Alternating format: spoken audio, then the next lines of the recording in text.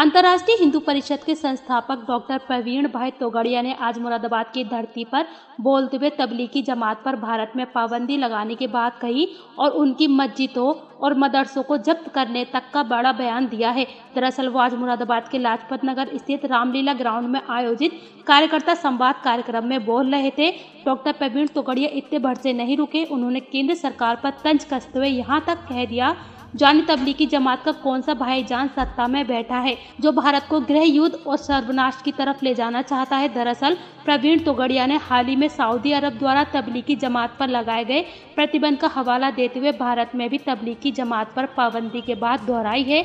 उन्होंने आगे कहा कि अगर देश की जनसंख्या इसी तरह बढ़ती रही तो आने वाले 20 सालों में मुस्लिमों की संख्या दो गुने से अधिक हो जाएगी और फिर ना हिंदू बचेगा और ना ही हिंदुत्व डॉक्टर प्रवीण तोगड़िया ने देवबंद में दारुल उलूम और तबलीगी जमात पर जल्द से जल्द बैन लगाने की बात दोहराई है। विश्वनाथ मंदिर के कॉरिडोर का निर्माण होने में किसका फ़ायदा क्या लगता है भाजपा को इसका फ़ायदा मिलेगा? में फ़ायदा नुकसान तो पॉलिटिशियन देखेंगे। राम मंदिर बनना ही चाहिए था बना उसका आनंद है।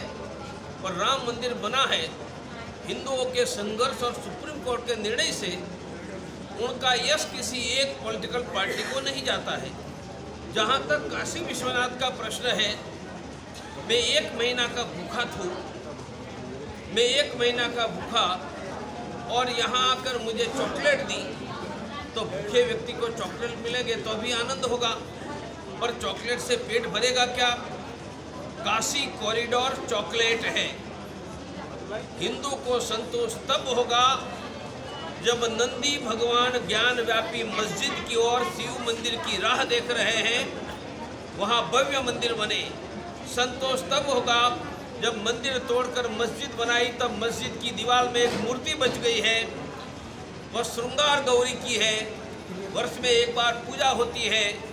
मुझे कहना है कि हम सभी की माँ श्रृंगार गौरी मस्जिद में बैठी है।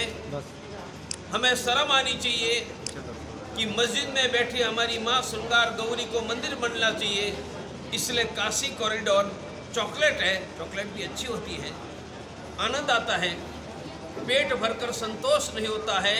हिंदुओं को संतोष तब मिलेगा जब काशी विश्वनाथ का भव्य मंदिर ज्ञान व्यापी पर और कृष्ण जन्मभूमि पर मंदिर बने और इसके आंदोलन करने की कोई ज़रूरत नहीं है। संसद में कानून बनाओ, पूर्ण बहुमत है। हिंदुओं ने वोट दिया है। हिंदुओं की भावना की कदर करो। कृषि कानून वापस लेने के बाद किसान की सूर दिखाई दे रहा है कृषि कानून वापस लेने का निर्णय अच्छा था। मैं स्वागत करता हूँ। और एक साल के बाद किसान अपने घरों में गए। अच्छा हुआ। परंतु इसी दौरान 700 किसान का प्राण गया है।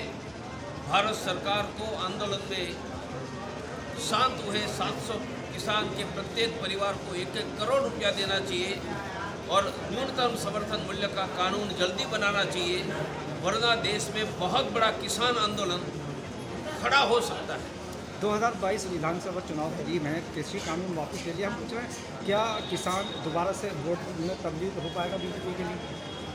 मैं मैं तो न चुनाव लड़ता हूँ मुझे कोई पता नहीं है। आतंकवाद का प्रवेश द्वार है।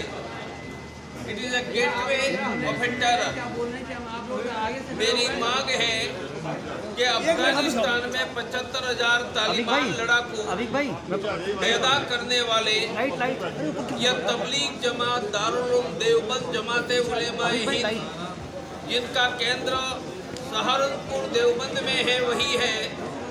और भारत में उनका बहुत बड़ा नेटवर्क है।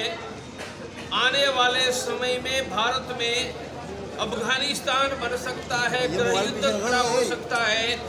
इसलिए केंद्र सरकार तत्काल तबलीग जमात दारुल देवबंद जमात उलेमा हिंद पर प्रतिबंध लगाए। सऊदी अरेबिया में मक्का मदीना इस्लाम का केंद्र है। यदि वह अपनी सुरक्षा के लिए तबलीग जमात पर प्रतिबंध लगा सकते हैं तो जिस भारत आतंकवाद से पीड़ित है, वह तबलीग जमात पर प्रतिबंध लगाने में देरी क्यों कर रही है? केंद्र सरकार तुरंत करे। दूसरा मुझे बताना है कि देश में जनसंख्या वृद्धि दर दो आ गया है। तो आज 140 करोड़ जनसंख्या है। 50 साल के बाद 140 करोड़ रहेगी। परंतु दो जनसंख्या वृद्धि दर में हिंदुओं का जनसंख्या वृद्धि दर पौने दो है। अब हिंदू घटने लगेगा।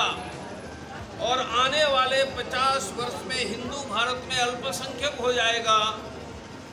भारत में हिंदू की बहुसंख्यक जनसंख्या बचाने के लिए केंद्र सरकार तत्काल दो से ज़्यादा बच्चे पर प्रतिबंध लगाने का कानून बनाए।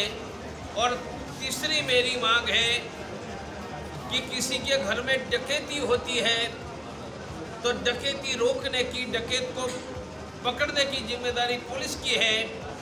किसानों को फ़सल के दाम नहीं मिल रहे मिल रहे हैं। फ़सल के दाम से कम कीमत पर उनका अन्न खरीदा जाता है। वह देश के सत्तर करोड़ किसानों के घर में डकैती है। उनके कारण किसानों पर कर्ज है। तो किसानों को डकैती से बचाना है। तो देश में न्यूनतम समर्थन मूल्य का कानून सभी फ़सलों के लिए तुरंत बनना चाहिए। मैंने मेरी बात पूरी की।